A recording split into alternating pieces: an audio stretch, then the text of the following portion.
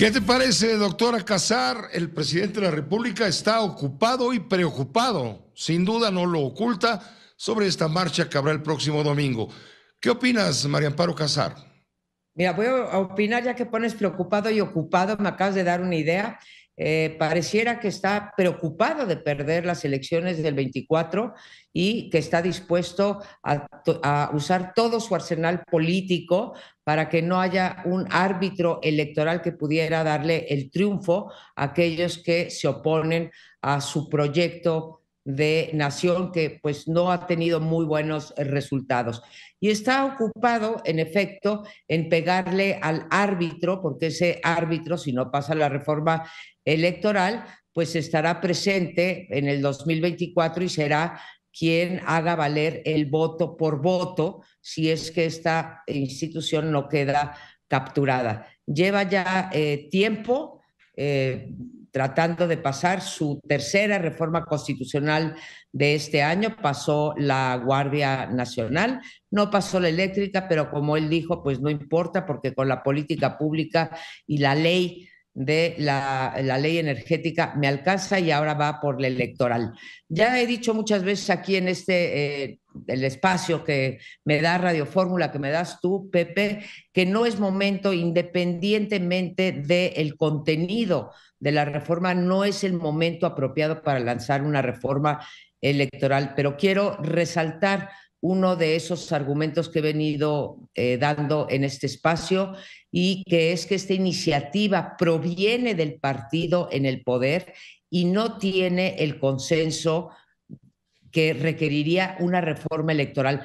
Todas las reformas en las democracias pues pueden pasar por el voto de un partido o de otro, pero si hay alguna reforma y ocurre en los Estados Unidos, hace rato te escuchaba eh, con Leo, que se requiere eh, la pues eh, si se pudiera la unanimidad, como fue en la reforma del 96, no en la constitucional, pero sí en la electoral, requiere del concurso de todos los partidos o cuando menos de fracciones de todos los partidos. Y lo que no se vale es estarse metiendo de la manera indigna que se está metiendo en contra de un órgano o del titular de un órgano constituido. Él dice que nuestro pueblo es un pueblo educado, que es mucho pueblo y que no se deja engañar, etcétera, etcétera. Y por otro lado, todas las mañanas dice o pretende indoctrinarlo a través de adjetivos y no de argumentos a ese pueblo que según él es el más educado políticamente del mundo, cosa que no sé de dónde saca eh, Pepe, que somos los que tenemos una mayor cultura política del mundo, pero lo dice una y otra vez y se contradice, porque entonces no tendría necesidad de estar vendiendo su reforma electoral y sobre todo no tendría por qué estar denostando de la manera que lo hace al árbitro electoral, que además le dio la, la victoria en el 2018.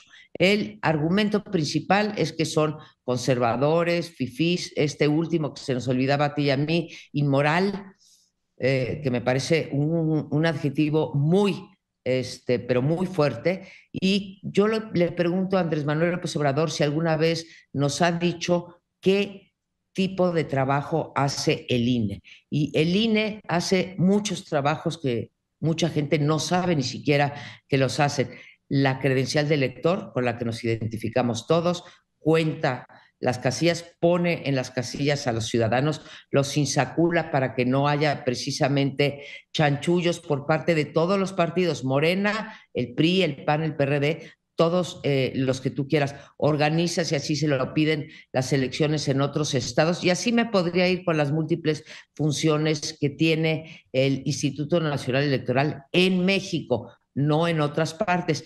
Y han llegado al descaro de proponer que, bueno, inicialmente te acordarás, Pepe, que una iniciativa que lanzó Pablo Gómez antes de que estuviera en la UIF, de que se regresara a gobernación eh, las, eh, digamos, la función electoral, cuando fue precisamente desde la izquierda, desde donde pedimos la construcción del INE sin que participara en ella el gobierno. Se ha logrado, el INE es clase mundial, no lo digo yo, lo dicen los estudios internacionales y Lorenzo Córdoba se ha destacado junto con muchos otros consejeros, pero él en particular como un primus inter pares, o sea, él es consejero igual, pero es el presidente del instituto por la cultura cívica en este país, por tener las cosas en orden y por sacar más de 300 elecciones de manera pues impecable. Y cuando no han salido de manera impecable ha sido no por los árbitros, no por las autoridades electorales, sino porque o el crimen organizado o alguna autoridad local ha querido interferir en ella. Así que desde este lado, Pepe, mi respaldo a la institución, aparte de a Lorenzo Córdoba, que me parece que hemos tenido un espléndido presidente, pero aquí creo que ya es hora de estar hablando de las instituciones quiero decir que debemos de respaldar, tú empezaste eh, con la marcha el próximo domingo, creo que se debe de respaldar a este órgano autónomo porque ya van muchos, comenzando por la Comisión de Derechos Humanos, que pues francamente se las ha cargado. No usemos adjetivos, demos argumentos. Se quiere capturar a las instituciones, se las quiere estrangular financieramente. Y cierro, Pablo, cierro, Pepe, porque se me acaba, eh, acabo de leer en las noticias que el consejero de Morena le acaba de meter una denuncia en contra de Lorenzo Córdoba por promoción personalizada. Por todos lados le quieren pegar al INE. Gracias, María Amparo. Gracias por tu juicio y tu comentario. y disculpa por los minutos que te robé. Hasta el próximo martes, Pepe. Hasta el próximo martes o antes de ser necesario. Buenas noches, la doctora María Amparo Casar, siempre a todas horas en su juicio. Esta fue una producción de Grupo Fórmula. Encuentra más contenido como este en radioformula.mx.